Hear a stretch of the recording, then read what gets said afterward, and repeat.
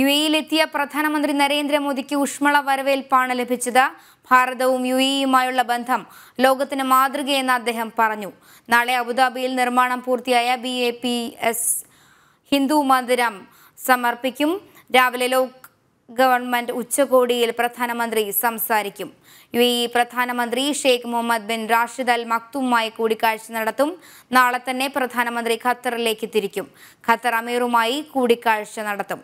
വിവരങ്ങളുമായി ഷിൻസ് ചേരുന്നുണ്ട്. ഷിൻസ് ഇനിയുള്ള കർമ്മ പരിപാടികൾ എങ്ങനെയൊക്കെയാണ് അതിൽ നിർണായകമായ എന്തൊക്കെ കാര്യങ്ങളായിരിക്കും ഉൾപ്പെടുക? നിമിഷങ്ങൾക്ക് ചരിത്ര നിമിഷങ്ങൾ അബുദാബിക്ക് സമ്മാനിച്ചിരിക്കുകയാണ് ഇന്നത്തെ അഹ്ലൻ മോദി സമ്മേളനം. ഇതിനുശേഷം നാളെയാണ് നരേന്ദ്രമോദി ലോക സർക്കാർ ഉച്ചകോടിയിൽ പങ്കെടുക്കുന്നത്. ലോക സർക്കാർ ഉച്ചകോടിയിൽ ഇന്ത്യയാണ് അതിഥി രാജ്യം. നരേന്ദ്രമോദി അൻപതോളം ലോക നേതാക്കളെ അഭിസംബോധന ചെയ്ത് സംസാരിക്കും.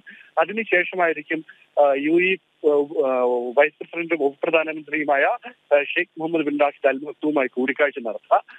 ഇന്ന് നേരത്തെ ഇന്ന് യു എയിൽ അബുദാബി വിമാനം ഇറങ്ങിയ ശേഷം U A president Sheikh Mohammed bin Sheikh Mohammed bin Zayed Al നഹ്യാനുമായി നരേന്ദ്രമോദി സംസാരിച്ചിരുന്നു.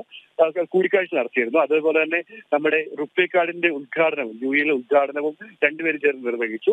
അതിനുശേഷം നാളെ പ്രവാസികൾ ഏറെ പ്രതീക്ഷയോടെ കാത്തിരിക്കുന്ന P A P F Hindu മന്ദിറിന്റെ സമർപ്പണ ചടങ്ങിൽ നരേന്ദ്രമോദി പങ്കെടുക്കും. അതാണ് പ്രധാനപ്പെട്ട വേറൊരു പരിപാടി. രാവിലെ അമ്പലത്തിൽ ക്ഷേത്രത്തിൽ സ്ഥാനപ്രതിഷ്ഠ ചടങ്ങ് നടക്കും. അതിനുശേഷം ആണ് വൈകിട്ടാണ് സമർപ്പണ ചടങ്ങ്. അതിൽ നിരവധി പ്രമുഖർ പങ്കെടുക്കുന്നുണ്ട്. നരേന്ദ്രമോദിയാണ് സമർപ്പണ ചടങ്ങ് നിർവഹിക്കുന്നത്. അതിനുശേഷം ഖത്തറിലേക്ക്. ഇപ്പോൾ വലിയ വലിയ രാഷ്ട്രീയ മാനങ്ങളുണ്ട്. ഇപ്പോൾ നരേന്ദ്രമോദിയുടെ ഖത്തർ സന്ദർശനത്തിലേക്ക് എട്ട് നാവികരെ വിട്ടയച്ചതിന് ശേഷം ഖത്തറിലേക്ക് പോകുമ്പോൾ ഒത്തിരി പ്രതീക്ഷയോടെയാണ് പ്രവാസികൾ നോക്കിക്കാണുന്നത്. നരേന്ദ്രമോദി ഖത്തർ സന്ദർശനം ഇതാണ് നാളത്തെ പ്രധാനപ്പെട്ട പരിപാടികൾ മഞ്ജുഷ. ശരി വിവരങ്ങൾ നൽകുകയായിരുന്നു സെബാസ്റ്റ്യൻ